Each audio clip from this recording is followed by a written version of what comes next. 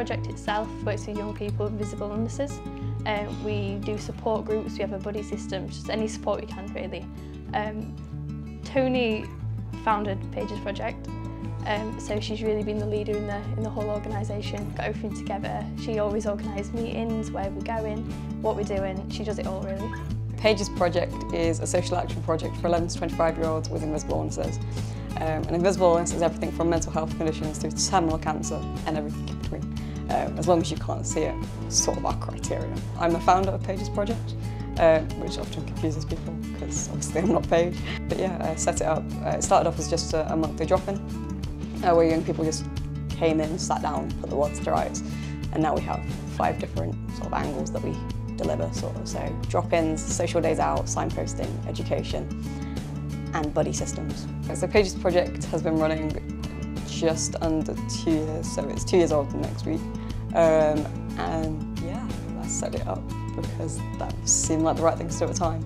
So I met a load of friends in hospital and we decided this is what we wanted to do. We wanted something like this, it didn't exist, so let's do it ourselves. I think she deserves to be nominated because the effort and the work she actually puts into Paige's project, into the community itself is brilliant. Like I've known Toni, Toni for a long time. I was here at the start of the project and she's just, she's great. She really cares. I think the biggest achievement, uh, I think this is my now go-to one. Uh, we have a young person who started with us sort of not long after we set up um, and they've never left the house alone. They've got sort of 18ish and they've never been on their own on a day out or anything like that. Um, and they're mute, so they use like a computer to sort of talk, so they type in what they want and then that communicates for them.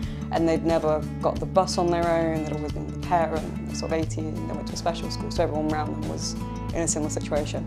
And I think we went to go see How to Train Your Dragon, whatever number it is, um, and they planned their bus route down there on their own, met us down there independently, all they had to do was text them on being like, oh, by the way, made it, okay. And then made their way back home on their own as well.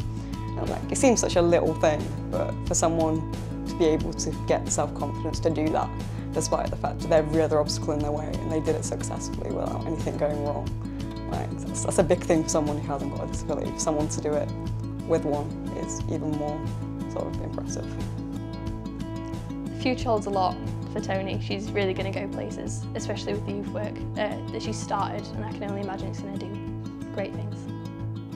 So what makes Toni special is just how patient she is, like with all the volunteers. Like she's really engaging and just makes you want to sort of get involved. Like she just, she motivates me to sort of keep as enthusiastic as I am. You know, like it's just really easy to be myself around her, easy to sort of get out there and sort of you know, get involved. It's, it's, she's inspiring, definitely.